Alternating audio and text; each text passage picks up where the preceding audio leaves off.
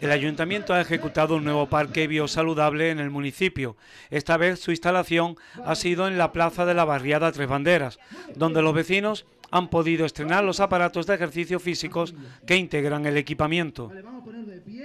En medio de una fiesta infantil, con monitores de ocio y tiempo libre, los vecinos, especialmente los más pequeños, han participado en juegos y talleres de pintacara, además de utilizar los diferentes aparatos.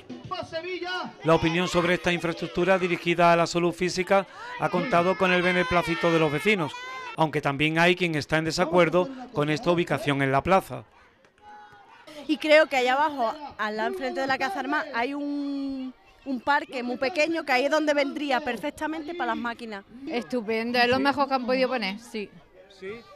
¿La plaza está bien como está o no?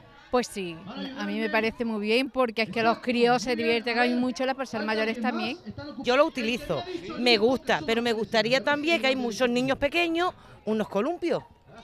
Me gustaría, como pedí, se pide o no. El, Brasil, lo llevamos al Brasil. ¿Sí? ¿Y cuál otro más? Pues ese, ese también me gusta mucho, la bicicleta.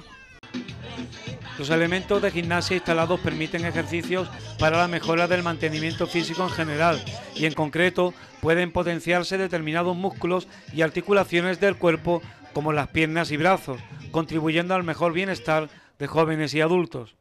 Los parques biosaludables se están ejecutando por diferentes distritos y barriadas de Estepona, en un amplio programa municipal que abarca igualmente la ejecución de pistas polideportivas, la última se abrió al público en la zona litoral de Mar Azul.